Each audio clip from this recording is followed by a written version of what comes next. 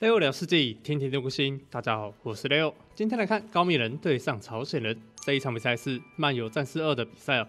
好，这场地图呢是线地图啊。好，那这个地图呢，开局哦是需要用运输船啊去让自己的村民哦找到个合适的地方开下城镇中心哦。所以其实有点吃运气成分的一个地图啊。那可以看到 NBL 这边开局有点慢了。而且这场比赛呢，NBL 是对上 Viper，两位呢已经走到了二比二，谁只要赢下了这场比赛，谁就可以晋级啊。好，那 Viper 是在右下方这个地方开局哦。我们先来介绍一下朝鲜的开局啊，这个经济配置的特性哦。那朝鲜人呢，他的特色是挖石头的速度比较快哦，而且他的工兵呢有自己升级的效果。所以它很适合打工兵路线哦，不管你是要打强弩花或战矛兵哦，火枪哦都是适合。马弓部分不太适合的原因哦，是因为它没有品种的关系，用起来哦马弓血量会差很多，而且后期也没有安息人战术，虽然这个不是很重要。那朝鲜人呢，他的马弓路线哦还是比较适合走马战车这个单位哦。那后期呢也有这个大落马可以去反制对方僧侣，招降自己的投石车、火炮，还有这个马战车。整体来说是偏工兵的文明哦，而且它这个文明也是有大枪兵的升级，所以遇到比较多复杂的情况的时候，朝鲜人还是可以透过枪兵配马战车，呃，或者是大落马这三个搭配去进行反击的。那朝鲜人比较有特色的东西是，它的箭塔会随着时代自己升级哦，而且银冠点下之后呢，可以让它的城这个箭塔的射程哦，变成射程最远的箭塔文明。那我们接下来看一下 NBL 选择的文明是高棉人哦。那高棉人特色呢是它的农田哦，这个种田的啊，这个异次元农田是非常非常可怕的，不需要透过模仿或城镇中心哦就可以收了哦。那高棉人呢，他比较偏向于骑兵路线哦，他可以打重装骑士，通常是他的主力哦，当然也可以走大象路线。哦在精锐毛相夫呢，只要是大象类精锐都有抗招降的效果。那高棉人的后期呢，也可以考虑打这个弩炮或是弩炮上作为主力哦。那他的工兵路线哦，也是可以走的，走这个马弓啊、强弩哦，都是 OK 的。那我们接下来看一下两边会怎么打封建时代吧。那这场比赛结果我是没有看，但是只知道是二比二啊，因为我在比赛的当下的时候就。看到哦，二比二了，最后一场不要看啊，然后就先去睡觉了啊。呃，接下来要来看到 Viper 跟 NBL 是这两边呢，会是谁获得晋级的这个权利啊？那我觉得 NBL 对上 Viper 可以打到二比二，也是相当顶了，能打到二比二很不容易啊。好，这里是献了一只猪。那 Viper 这边会不会因为自己选朝鲜打输高冕呢？因为我对于朝鲜人的印象来说，是其实是蛮难驾驭的一个文明啊。虽然它箭塔可以升级哦，但是它其实没有太多的经济加成，还是要透过一些军事手段或者是控图之类的呃效果去获得自己的优势哦。那这张图来说，它的黄金地带是比较多的。所以你很难透过什么箭塔去控图哦，打出自己的这个经济优势哦。你插它，它就直接搬走就好。除非你左右开弓，两边箭塔都给它插好插满。但是 NBL 也不是什么新手等级的人物啊，他是非常顶尖的职业玩家。所以这个箭塔骚扰流啊，能不能对 NBL 做成很好的效果啊，这就不知道了。好，Piper 这边是很正常的捕鱼模式。那 NBL 这边很奇怪哦，这里是没有捕鱼的哦，呃，这就奇怪了啊。Viper 应该很纳闷，你的码头在哪？一直在绕，一直在绕。现在 Viper 觉得，哎，NBL 没捕鱼，这个是什么情况呢？虽然以团战的角度来看，高冕人确实在一些情况上是不需要去去捕鱼的，但不管怎么说，有捕鱼哦，经济就是比较好啊。那我个人觉得，不捕鱼是一个蛮赌的事情啊，因为这个有捕鱼跟没捕鱼的经济差距哦，差的有点大。好，NBL 这边是要打支城，Viper 这边已经升到了封建时代，资源量看起来是有机会可以直接升城堡时代的，好，我们来看一下 Viper 这边的经济配置，补了一个军营，这里有可能是要补肉马吗？啊，先补军营的话，路线就会不太一样了。但是肉马配兵工厂有可能吗？来看一下 Viper 这边的选择，好，果然是肉马，没错啊。那后面呢兵工厂补在了上面，OK，肉马配兵工厂。那朝鲜是个工兵文明，走落马路线，这个就有点违反人性的直觉思考。好，Viper 这边点一下城堡时代，NBL 这边也点下城堡时代。由于 NBL 高免了呢是不需要前置建筑物就可以升级时代的文明了，所以可以看到啊它这边什么都不用盖，直接升级非常快速。但是 Viper 的升级速度却跟 NBL 一样，太扯了，Viper。那我们可以看到，有捕鱼的那一边经济现在是领先了，大概七百多的资源，而且 Viper 在中间又补了一个码头，把这个渔船把它经济效益打好打满哦。好，结果 NBL 这边本来想要偷渡两只村民过来，结果被看到，选择了原地折返。Viper 这边一只落马出来，追着运输船看，好，村民回来了，本来想要搞点事情。可能是想要盖个什么马厩之类的啊，或者是打弓箭手前压啊，或者是打这个他拿手的伸头啊，头车战术。但 NBL 这个被侦查到，决定直接遣返村民啊，村民没有打算继续，这只村民没有围起来，可能要被抓掉了。白婆这边直接让两只落马展开，再往前走，但是高敏的村民可以躲到房子里面，没有问题，这就是高敏人最厉害的地方啊。所以高敏有时候它其实是蛮适合团战地图，像什么游牧之类的啊，或是一些奇怪的地图的时候，高敏是有很强的可塑性哦，因为它可以适应很多情况，让村民哦直接躲到房子里面，让你在团战的被突袭的情况下还可以自救啊。好，但是这一个村民有机会躲到房子里面吗？NBL 好像没有看到，因为 NBL 现在右边肉马也在输出。三只肉马搞定了一村，现在是一比一的交换。那以走肉马路线来看哦，NBL 是有极大的优势性的哦，Viper 则是比较弱势一点，没有品种显然就差很多，而且也没有三攻三防。这个马呢是比较弱一点，结果这个房子要被祭天了，哎呀，这一村要被放弃掉了。好，但至少让 NBL 的肉马没有办法继续进攻了。NBL 三只肉马。成功拿下两村，好，麦克这边是双 TC 先开农了。OK，那现在麦克落马现在有点微妙啊，回家的话可能做不到事情，一定要升七骑兵才行。但升轻骑兵的话也不一定打得赢 NBL 的落马哈。点品种一点下就知道谁就是老大了。那现在看到 NBL 是两只轻骑兵，哎，再看一下这个三只肉马的动静，三只肉马继续往下。呃，NBL 应该也很清楚，Viper 选三 TC 开农，所以这边是不是在找他第三个城镇中心呢？啊，应该是没有预料到他已经在下面开了啊，所以又回头看了一下，或是早就已经预料到了啊，你就开吧，反正我要来投车你了啊。好，结果这三只村民哦，两只村民有一只没有办法逃进去，哇！本来要死两村的，变成死一村。好，这里一只村民过来铲个农田，来盆的落马看到，直接把村民放了进去。好，工程器制造所可以按第一台投石车喽，资源量已经可以按了。结果枪兵过来，直接要戳掉一只马。NBL 这边有点小小失误，看到枪兵马上转了弩炮。好，用落马把这个 落马给逼退回去。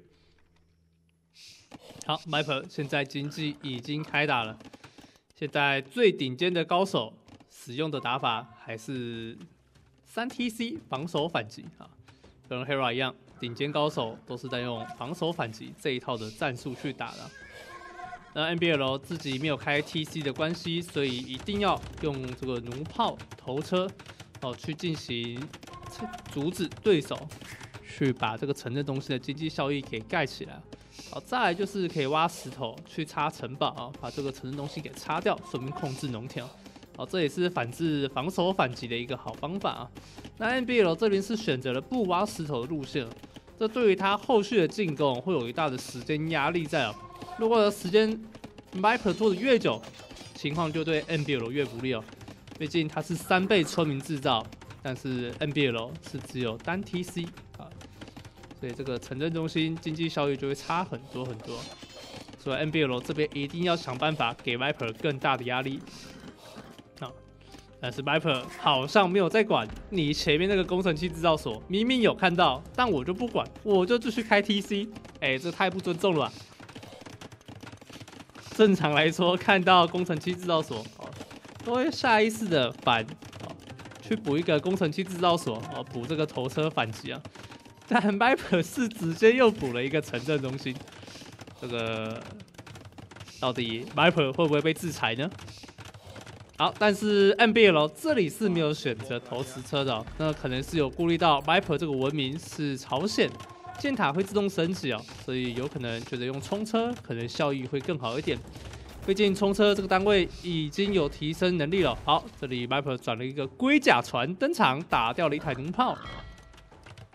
好，龟甲船的这个炮弹哦，也变得比较能开炮比较快一点啊，快一点。好，这边稍微围一下。好，这里收村，箭塔没有办法守住吗？村民拉回去，后面弩炮、落马在对打，龟甲战船没有继续输出，再看弩炮被后面的龟甲船给吸引到，冲车要顶掉这一根箭塔了。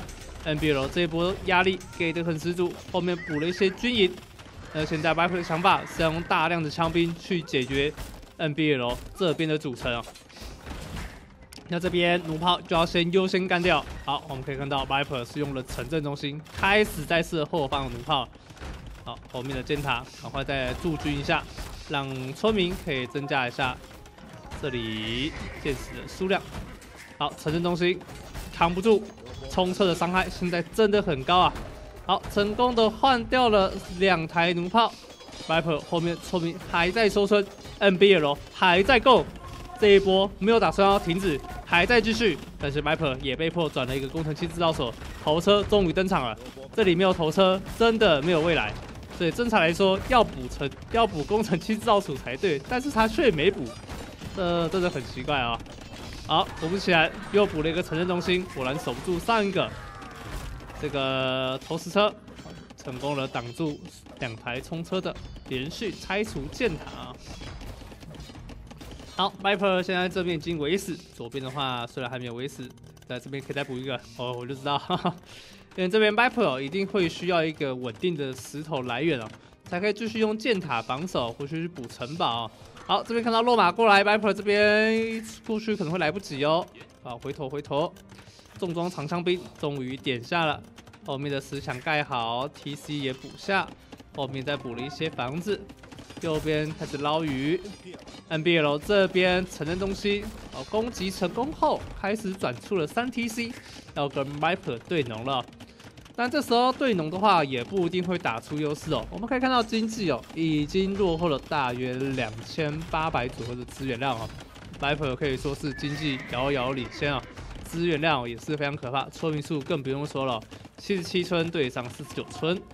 而且这个 TC 再补下的话，依旧是四 TC，还是领先 NBL，NBL 应该都是有看在眼里。你的城镇中心的数量总共是有五个了。那如果 NBL 这边真的想要跟 Viper 打后期的话，那这边理应当只要补下五 TC 开始农。那 NBL 补下了三 TC 之后，没有后续的这个操作，反而是开始转弯打海战了。火战船正在生产当中啊。好，现在这个僧侣麦克走过去被击杀，长兵继续往前走。右边这块区域没有太多规模的打斗了，NBL 也没打算继续出冲车继续顶。好，那就要来看一下 Viper 后期怎么用朝鲜打高棉了。那高棉打朝鲜最大的优势，或许就是它的的弩炮了啊。它的弩炮呢是射程最远的弩炮文明的哦，它的弩炮射程可以高达九点哦，天生加一点，再加上工程工程师后期的重型弩炮，还可以用这个多重弩哦，增加这个弩炮的额外的一发弩炮伤害啊。所以这个弩炮呢，算是伤害中的霸主啊，伤害中的霸主啊。好，这里火战船要打这个龟甲船，效果很不错哦。这一波龟甲船回头打个几炮，但是没有办法拿下两艘，这个龟甲船还是被烧掉了。好，右边 NBL 还是按了几台冲车，现在 Viper 开始要用箭塔进攻了。你不过来，那我就要过去喽。啊，那我们之前看到 Viper 使用土耳其。土耳其的火炮塔攻城敌方城堡的画面哦，呃，不知道在这场比赛中也会不会出现 Viper 用箭塔啊去攻击人家的城堡的这个画面哦，呃，应该是不太可能啊，火炮塔可能还比较有用啊，攻城来说的话。好，那 Viper 这个村民怎么走的有点远呢？好，直接飘向北方。好，两只村民想要直接走到最里面吗？但是。NBL 有发现，打了一只女村民过去尾随。好，这里建塔也在慢慢盖，这里还在补弩炮，而不是冲车。麦克补下了手推车，海战的部分没有打得很认真。龟甲船就是且按且珍惜，啊，稍微按一下。这里招降火战船有机会招降到，长枪兵拉走，但是要自敌了吗？哎呀，没有自敌战舰，直接变成 Viper 的了。好，这里龟甲船看到大量的战舰过来，赶快拉走。Viper 在右边这个位置补下了一根城堡，帝王时代也顺利点下了。好，这两只村民走到了后方，可能是走错的。Viper 居然拿起拳套开始扁起了村民。这三个女人的战争，谁输谁赢呢？哦，看来 Viper 的两个女人输了啊。NBL 开到了，好，那现在二级射也点下了。现在 Viper 箭塔方面啊，没有再继续往前补，补了一根城堡，用这个城堡去防守这边。结果两只圣女直接被火战船给烧死。围甲战船现在火力很强大，好，但是 NBL 也点一下帝王时代，两边的经济还是落差的有点大，资源来到。差距六千资源了，六千资源其实蛮多的了。那现在 Viper 要继续往前走的话，还是要决定性要打什么兵种。那目前他的决定是要先打枪兵的升级啊，重装长枪兵，待会再升到这个大枪兵的升级。呃，刚好朝鲜人打枪兵跟毛兵都很适合，都有木材截面的这个效果啊。那后续看要继续打火炮还是马战车啊，都是可以后面再决定的事情。那以目前高棉人来说，他的科技线是没有办法后期打僧侣的，没有印刷技术就没有办法打马战车。好，这里火战船炸了一波，结果三艘龟甲船好像快活了下来。哇靠，这个活残血活了下来，但是又有两个爆破船来了。好，这边炸了一艘，第二艘应该也能拿下。哎，结果残血活了下来。白普这边帝王时代点下之后，化学跟真秘技术也补上了。NBL 这边城镇中心补了第四个，但是资源量还是很吃紧。白普这边慢慢的把军事建筑物开始往前补了，但是 NBL 并没有太大的动作，也没有在这里补下城堡，要来应对即将要面对的问题。那 NBL 现在村民还在按，没有转出太多科技，二级马凯没有点，二级弓也没有点，品种也没有点，所以这里目测看起来骑兵路线是不太可能，弩炮路线可能会更大一点了。好，那如果走弩炮路线的话，Viper 又会更好打了，我只要出火炮就可以压制住你的弩炮。整体来说，Viper 是已经挡住了高敏人两大利器。一个是弩炮，一个叫做骑士跟大肉马。我只要转了枪兵，还有火炮这两个东西都被我 counter 到。就算你的高面有救赎思想，你的射程没有印刷技术，火炮还是比你远。Viper 都已经规划好这场比赛的胜利蓝图了。那 NBL 这边打的算是没什么选择可以打啊。那有人会说高敏这时候转大象呢？呃，要打大象的话，也要有经济转得起才行啊。所以 NBL 这边一定要先把自己的肉给稳定下来。那 Viper 这边骚扰做的还是很到位啊，可以看到这边枪兵跟马战车还是做到了一些事情，经济还是让 NBL 受到了一些损伤。好，左边又补了一个新的城镇中心，但是 Viper 有补下新的箭塔在左边，不要让你浓得这么开心。哇，Viper 在左边、右边都有自己的眼线，好，在做这个控制地图的操作啊。好，那现在控制地图来说，Viper 还是有用了朝鲜的插塔的优势，好，去进行控图的打击啊。那我们刚刚说到，Viper 真的要控下来的话，其实不太容易哦，要控的地方有点多，哦因为它这个矿点啊，全部控下来其实不太容易啊，除非 NBL 左边完全放弃。那才有可能控得下来，但是现在不要说左边了，现在右边连 NBL 也都快要扛不住。好，这块金也被空下来，NBL 获得了黄金数量越来越少。好，火炮再打了一下，僧侣直接倒光。哦，剩下弩炮，现在弩炮遇到火炮完全没办法。NBL 这里一定要转个马之类的，但现在转马一定会被枪兵给戳烂。NBL 在左侧补下了一根城堡。好，这个大型箭塔还在输出。Viper 点下了三级的步兵铠甲，Viper 箭塔继续升差，一层技术还没有点下。要是这个科技让 Viper 给点下了，这个箭塔射程会非常的可怕哦。好，Viper 这边打的很谨慎，龙炮战船也有升级，现在是一个海陆协同进攻的一个策略。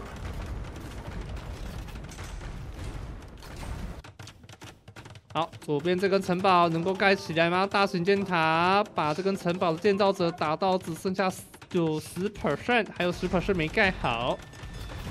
好，Viper 这边还点下了重袭火战船，NBL 海战部分还没有放弃，但是现在陆战部分很难打，巨型投石机出来就被 Viper 的火炮给击杀，难道又要再一台了吗？NBL 有看到吗？自己的城堡。被打了，但是没有石头可以修，怎么办？要买石头吗？好像来不及，直接放弃了。NBL 这里补下了弹道学跟工兵铠甲，Viper 则是点下了造船员，科技越补越多。NBL 难道要被 Viper 的朝鲜给插死了吗？好，后续这里五个箭塔还在继续。好，这个城堡盖好了。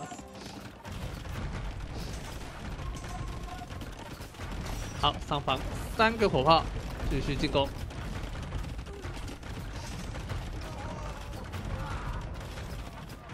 NBL 看起来有点难受，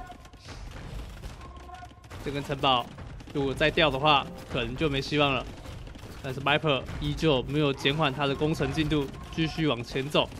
Viper 还在够。好，朝鲜人点下了精锐龟甲战船，还不是马战车。真的只靠枪兵跟火炮就把 NBL 打到这个程度了吗？NBL 这边经济还是有点落后，不太好，经济还差了一万五。左边部分巨型投石机稍微反击，但是有火炮在后面，这也是先瞄准了火炮，但火炮应该还是会优先把这个城堡先给拆掉啊。但 NBL 现在没有石头啊，现在这个城堡修不起来。再来一炮，左边城堡就要爆了。但是 Viper 在右边的枪兵也已经深入进去，正面的城堡也被拿下。NBL 始终转不出落马，跟重装骑士还有大象都没有办法，经济实在太差。这些他的关键兵力现在要成型，依旧还有一段路要走。左边的城堡被拿下，现在经济越来越糟糕，这块石头没了，NBL 所有的石头来源一切归零了。现在就只能被 NBL 哦，被 Viper 一直插插塔吗？哎，NBL 打出了 GG，我们恭喜 Viper 拿下比赛的胜利了。好，这边 NBL 也是祝福了 Viper，他祝福他接下来的比赛继续顺利哦。那这样子算起来的话，NBL 这一次是打到了前前几强，前八强啊，好像是前八强左右吧啊。那也算是很顶尖了，毕竟有很多选手可能连晋级的机会都没有，但 NBL 还是遇到了这一位世界冠军等级人物，还打出了二比二的战绩。那，我个人私心还是希望 Viper 会晋级啊，毕竟我是 Viper 粉。好，我们来看一下经济的部分啊。那经济的部分，Viper 这边是拿到了资源上的胜利啊，而且后面拿到了四胜五。那我觉得这边左右开弓打的是真的非常好，箭塔这边插一个，然后再继续直接插到左边的 n p l 的经济位置，右边这边也在慢慢推进哦。那打的兵种就只是单纯的枪兵跟火炮就可以获得如此大的效果，我觉得这对于一般人来说是一个很难到达的境界啊。好了，那么今天影片也就差不多到这了。那如果喜欢这部影片，请记得帮手订阅，我们下次再见喽，各位拜拜。